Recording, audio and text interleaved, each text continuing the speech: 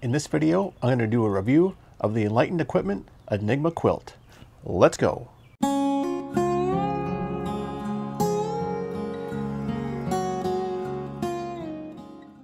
One of the most important decisions you need to make for backpacking gear is your sleep system. And today we're going to take a deep dive into the Enlightened Equipment Enigma Quilt and I'm going to share everything I know about it to help you make an informed decision. Just a quick disclaimer before we get started. I am not sponsored by Enlightened Equipment and I paid full price for my quilt.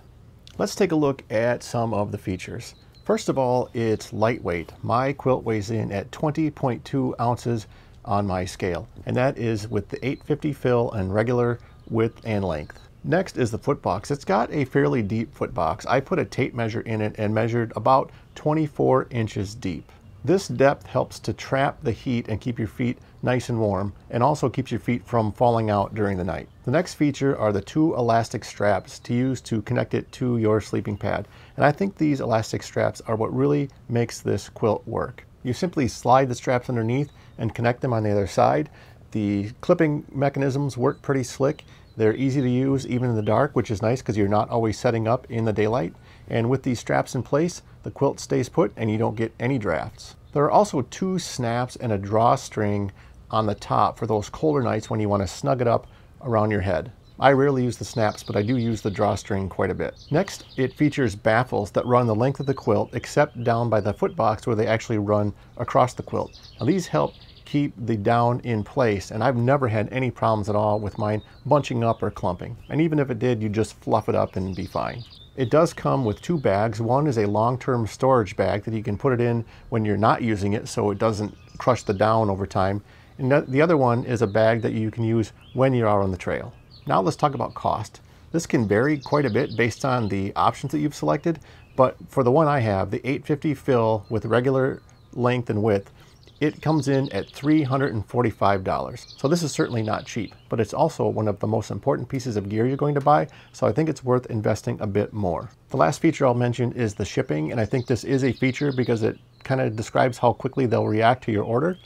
And the website says four to six weeks for shipping, although my son got one this spring and so did another friend of mine, and they were both delivered in about two to three weeks. Now that may differ based on the time of year and demand, so your mileage may vary. Before we move on to what I like and don't like about the quilt, I want to mention two adjustments that I made. The first is I do not use the bag that it came with when I'm out backpacking. I actually purchased a Sea to Summit Ultrasil 13 liter bag. And the reason I did this is because I feel it's more waterproof than the one that it came with. This bag folds over on top and I think this helps ensure that you're not going to get any water in it. A quilt is one of those things especially if it's a down quilt, that you cannot get wet. So I wanted to make extra sure that my quilt stayed dry. That's why I bought that bag. I also use a silk liner and I put that over the sleeping pad before I go to bed. And then if it gets really chilly at night, I'll pull it off the sleeping pad and climb into it. And that gives me an extra 10 degrees or so of warmth over the standard 20 degree rating of the quilt itself. So here are some of the things I like about the Enlightened Equipment Enigma quilt. First off is the durability. I went with the 7D fabric, which we'll get into in a little bit when we talk about how you can customize it. And I've had no issues whatsoever with this fabric. No rips, no tears, no pilling, um, no snags, nothing like that. I've been using my quilt for several years and it still looks like it's brand new. So I've been really happy with the durability of the fabric. Another thing I really like about the quilt is the large foot box. Like I said, it's like 24 inches long and it helps keep my feet very warm at night. And I also, on those below freezing nights, will put my Sawyer squeeze in the foot box. And the foot box is so big that I don't have to worry about it falling out and freezing in the middle of the night. The next thing is the comfort. And I own two quilts and the Enigma is so much more comfortable than my other quilt. I don't even use the other one anymore. It's just great and I can't wait to climb into this thing every night. It's just so comfy. I'm a big fan of the packability of the quilt. When it's in the dry bag, it packs up pretty small and doesn't take up much room in your pack at all. And it's also pretty easy to stuff in there. That down scrunches up pretty well and I don't have any problem getting this packed up in the morning before I start hiking. I also want to mention washability because eventually your quilt's going to get dirty and you're going to need to wash it. And I was very nervous the first time I washed this thing, like, oh my gosh, I'm going to totally wreck this quilt. But when I was done, it came out just like new. I, in fact, I thought it was even fluffier than when I first bought it. The process does take a while, but I was very pleased with the, with the result. Lastly, let's talk about customization. When you purchase the Enigma quilt, you can pick from a whole bunch of different options and get exactly what you want. And I'm gonna get into each of those in just a minute.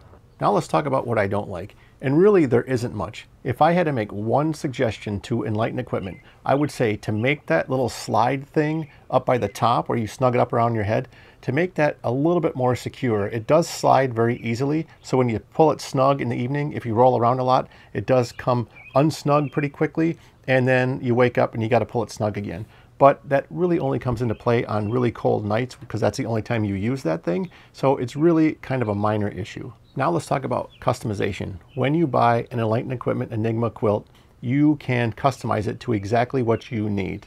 So I'm going to go through each category of customization and kind of explain what's going on there. The first is the fill. You get to select from 850 or 950 fill. So really what is the difference there?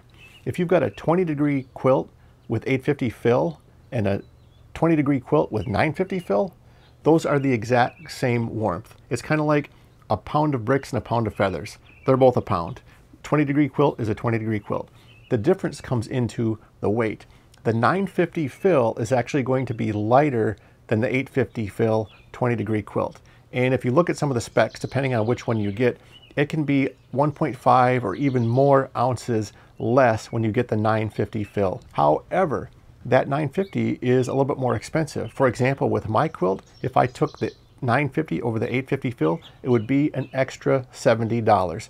So that ounce and a half ish of weight reduction does come at a price. Next, you select your temperature rating. It goes from zero degrees all the way up to 50 degrees at 10 degree increments. Now, when I'm selecting a quilt, the thing I like to consider is that I want to have it to be 10 to 20 degrees warmer of rating than what I'm going to be sleeping in. So if I'm going to be sleeping in 30 degrees, a 10 to 20 degree quilt is probably what I'm going to want. If you're only going to own one quilt, in my opinion, a 10 or 20 degree quilt is a nice versatile option for you. And if you use it with, say, a silk liner, that gives you even more versatility. Next, you select your length and width, and this is going to be specific to each person, so I suggest just going on their website and reading the descriptions of each size to know which one is going to be best for you. Next, you get to decide whether or not you want a draft collar. This is an extra piece that goes around kind of the neck area to keep the warm air in. For me personally, I just don't understand what this is going to do for you, and it's nothing that I would get, although if you want it, hey, have at it. Next, you get to pick your color, and I like the fact that you can select your own colors for the inside and outside of your quilt. I went with a dark blue exterior and a dark gray interior, mainly because those dark colors help hide the dirt and give me at least the illusion of being clean when I'm out on the trail. As you're selecting the colors, you also get to select fabric weight. And as you hover over the colors, you can see numbers like 7D, 10D, or 20D.